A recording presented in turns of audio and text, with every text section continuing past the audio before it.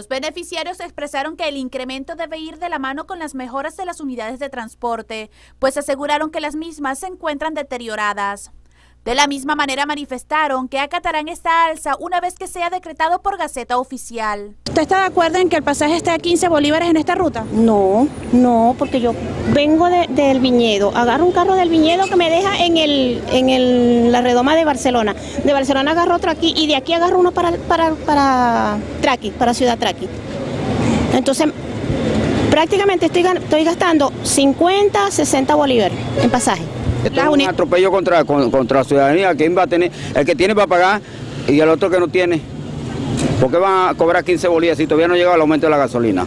Por su parte, Alberto Aguilera expresó que es válido este aumento debido a que los repuestos para los carritos han incrementado su costo. En realidad, se ve que 15 bolívares es mucho y a la, y a la vez es poquito, porque en verdad los repuestos de los carros no se consigue ni un caucho. Esa gente tiene que andar brincando y saltando para comprar chivas, porque no se, no se compra caucho nuevo.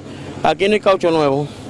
Los cauchos desaparecieron. Usuarios manifestaron que la mancomunidad de transporte debe regularizar el pasaje y mantener las unidades de transporte en buen estado. Desde Barcelona, María Fernanda Méndez, Anzuategui Noticias.